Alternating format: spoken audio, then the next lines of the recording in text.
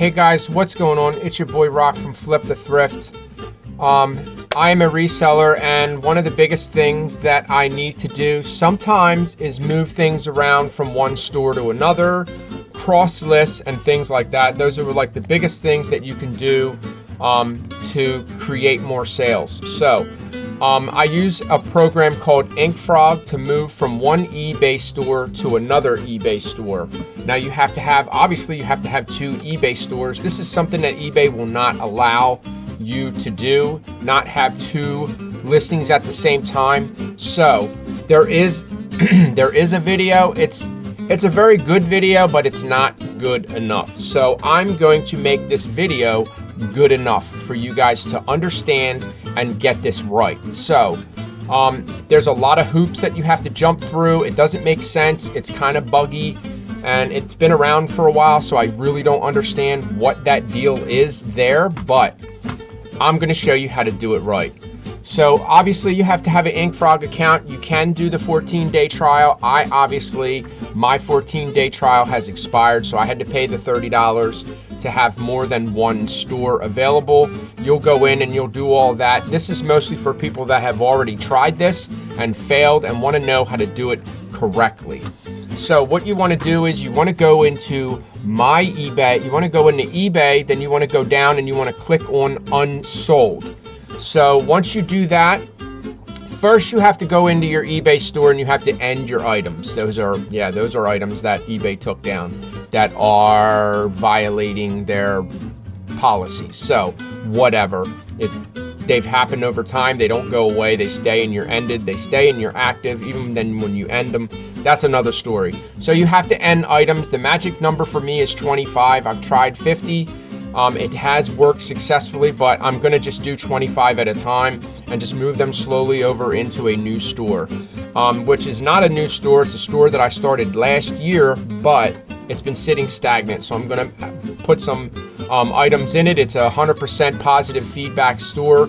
Um, it's just, yeah, it's, it's, I'm going to use it. So I'm paying for the store. I might as well use it. Anyway, you want to end the items first. Then they're going to go into your ended, into your unsold.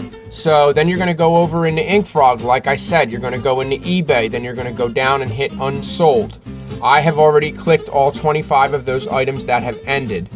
Then you're going to go into the right top where it says bulk actions. You're going to hit list selected.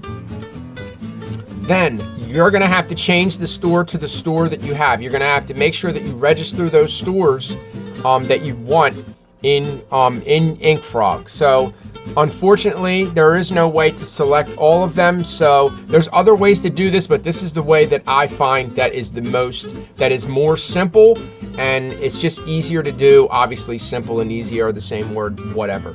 I'm going to change it to my other store, which is Deals for You 24. So unfortunately, like I said, you have to change all of them one by one. That's why it's easier for me to just do, you know, 25 at a time.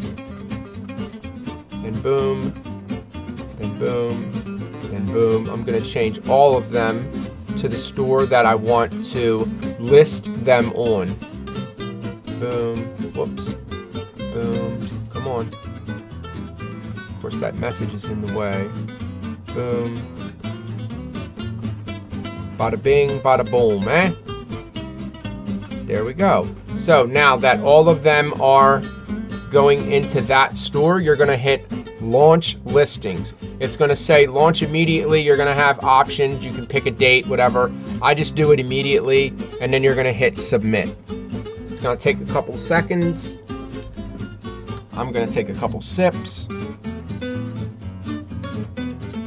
Then it's going to say 25 listings scheduled. Sometimes um, some of them may fail to list, which is, it happens. Then you're going to go in, I'm going to go into my other store, which I have open because you can't have two eBay stores, two eBay accounts active on the same, in the same browser. So what I'm doing is I'm using Microsoft and I'm using Google Chrome. I use Microsoft for that other account. So here it is. Yeah, there's the screen recorder program. So here is my store. I'm going to go into active. and it's showing that here they are. There's all the board games. And they're gonna let they're gonna go in a little bit at a time. Mine are already there. All 25 of them are already there, so let's refresh that. Let's hit active 195. 195. They're already there. So there they are. They have no views yet. What you're going to want to do also is um, I always promote my items. Sometimes I'll do 10%, sometimes I'll do 2%. Either that's neither here nor there. I just wanted to show you guys the right way to do that to move from one eBay to the next. If you guys have any questions, please comment down below.